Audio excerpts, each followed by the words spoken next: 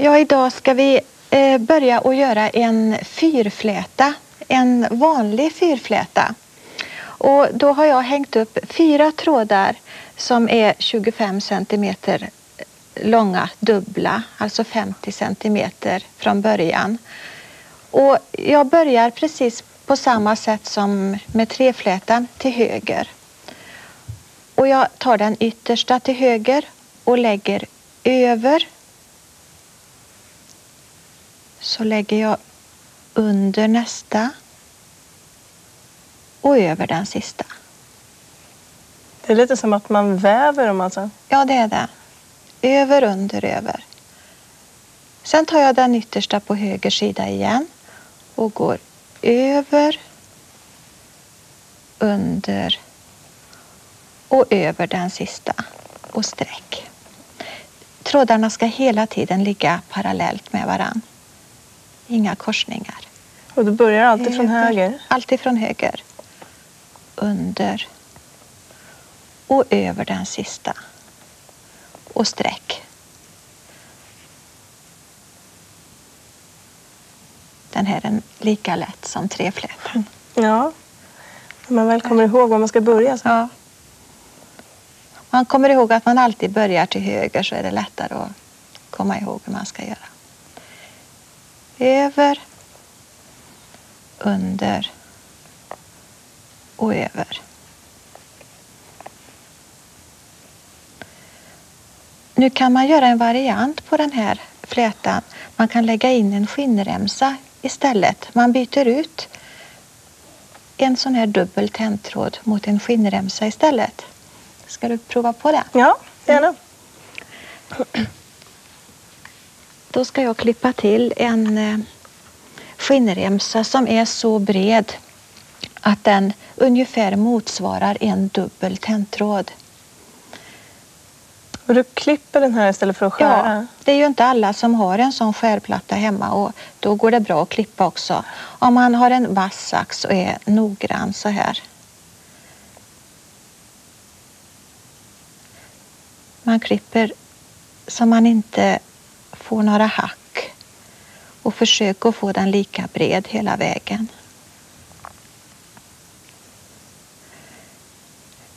Är man bara noggrann så brukar det gå bra.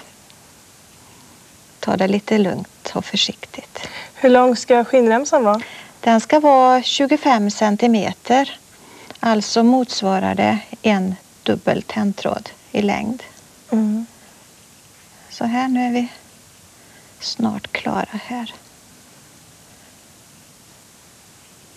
Så. Så klipper vi av den. Så hänger du upp den eller sätter upp den på eh, den sista nålen du har längst till höger. Du Ja. sticker nålen rakt igenom skinnremsan. Och sen kan du gärna sätta nålarna lite närmare varann. Du har lite långt avstånd där. Jag tycker det. Oj, det var Ungefär svårt att få igenom här. Tre millimeter. Den är lite hård, Ja, skinnet. så skinnet. gick det. Du tycker jag ska flytta ihop dem lite? Ja, lite grann. Annars så blir det så brett där du börjar. Ja, just det.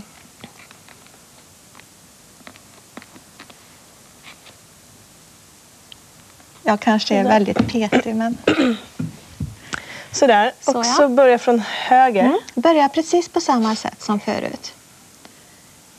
Över där. Mm. Och så under. Ja.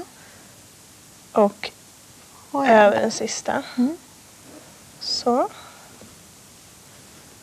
Börja från höger igen. Ja. Ja. Och Höger. hela tiden parallella trådar. Under. Och inte glömma den sista. Nej, det är rätt. Så. Sen ser du nu att eh, när du har flätat lite grann att skinnremsan bildar ett mönster i sig under Ja, flätningen. det.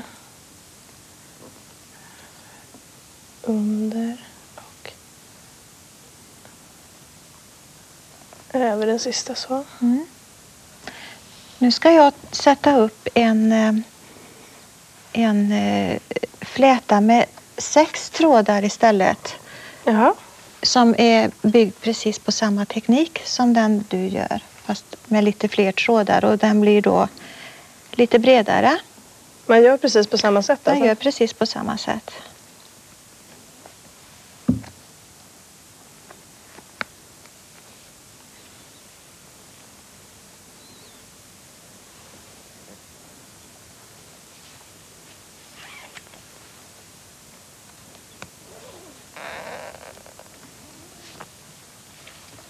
Du har två skinnremsor där. Mm.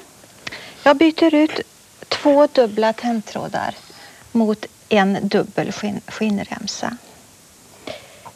Då får vi lite annan effekt. Nu är den lite svårare den här för det är fler trådar att hålla reda på men det går allt bra. Så här. Så börjar jag på höger sida igen och går över under över under och över den sista. Ja, det är samma teknik som förut precis alltså. på samma sätt. Det ser ut som det kräver lite mer övning kanske. Ja, det gör det. Ju fler trådar man flätar med ju eh, eh, mer övning kanske det kräver. Ja. så. Men det är ingenting som är så svårt att man inte klarar av det. Och det är inte hela världen om man skulle göra fel. Mm. Då rättar man till det bara. Så här. Och så den yttersta igen hela tiden. Det är jätteroligt att fläta med såna här många trådar så man får en bredare fläta. Mm. Vad händer om man sätter eh, skinnremsorna på olika ställen i Och då får man ytterligare ett mönster. Och det kan man prova eh, om man sätter till exempel e- en skinnremsa som på nål nummer två och en skinnremsa på nål nummer fyra och börjar att fläta. Då får man fram ett, ett nytt mönster. Där, tändtråd, eller där skinnremsorna kommer en bit ifrån varandra. Ja, just det. Det är också sånt där som man kan pröva sig fram ja, till. kan man göra. Det är det som är så roligt att man kan eh, prova på lite olika varianter och få kanske egna mönster. Det var så jag lärde mig det här. Jag satt hemma vid, vid köksbordet och övade mig på, på olika. Och ibland så blev det bra och ibland så blev det inte bra. Ja. Det är så. Jag vet att du har gjort ett halsband till din katt i den här tekniken. Ja, det har jag gjort. Det, är, det är en rätt kul idé. Som användning. Ska vi visa det här? Den, där har jag gjort en sexfläta och så har jag två stycken skinnremsor i rött. Ja, Och så har jag monterat på, på rött skinn det är jättefin min- verkligen. till min lille katt. Ja, och det kan man ju göra med hundhalsband och, och man kan göra armband och Mm. allt möjligt så. Ja.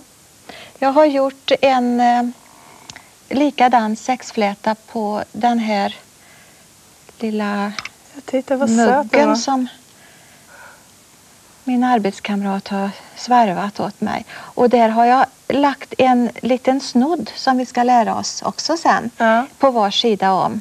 Så man kan montera flera flätor Ja, det tillsammans? kan man göra och kombinera så. Och här är det en liten eh, urfräst kant som eh, jag har limmat fast flätorna i Ja. så de ligger still så. Ja. ja, det finns mycket man kan hitta på med de här flätorna. I nästa program så ska vi göra någonting som heter Jennyflätan.